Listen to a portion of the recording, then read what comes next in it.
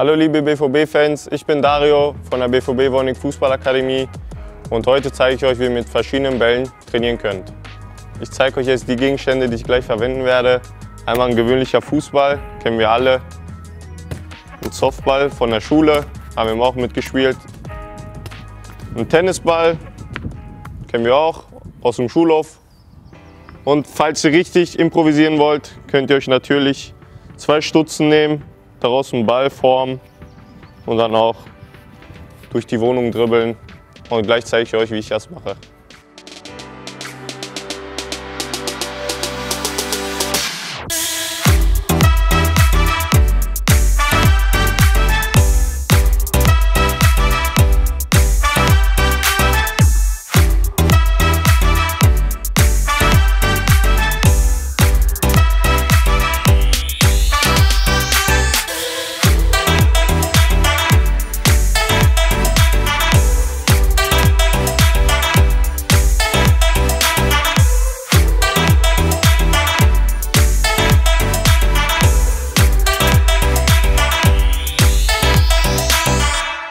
Und wie ihr gesehen habt, ich habe die Bälle an verschiedenen Räumen hingelegt und ihr müsst natürlich auch machen und dann dribbelt ihr von Raum zu Raum. Seid kreativ dabei, ihr könnt natürlich auch die Außenseite benutzen, die Innenseite, die Sohle. Und jetzt bist du dran, viel Spaß beim Trainieren und immer daran denken, gemeinsam sind wir ein Team.